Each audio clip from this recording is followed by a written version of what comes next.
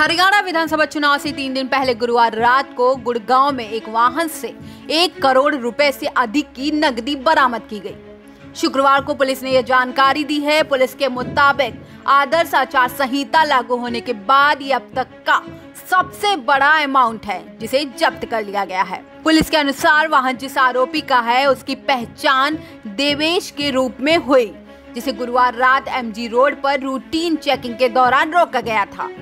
Gurgaon police के PRO Subhash Bokar ने कहा, गाड़ी को चेकिंग के लिए रूटीन ढंग से रोका गया था और वाहन में एक करोड़ रुपए नकद मिले थे। सुभाष बोकर ने कहा, चुनाव के दौरान अपनाई जाने वाली प्रक्रिया के अनुसार हमने आयकर विभाग के साथ साथ चुनाव आयोग को भी सतर्क कर दिया है, जो इस मामले की जाँच करेगा और ये जाँच करेगा कि इतनी बड़ी राशि, इतनी बड़ी राशि नगद में क्यों पहुंचाई जा रही थी। उन्होंने कहा कि हमने कोई एफ़ दर्ज नहीं की है। आपको बता दें कि हरियाणा में विधानसभा चुनाव 21 अक्टूबर को होने हैं। वोटों की गिनती और परिणामों की घोषणा 24 अक्टूबर को होगी। राज्य में विधानसभा की 90 सीटें हैं।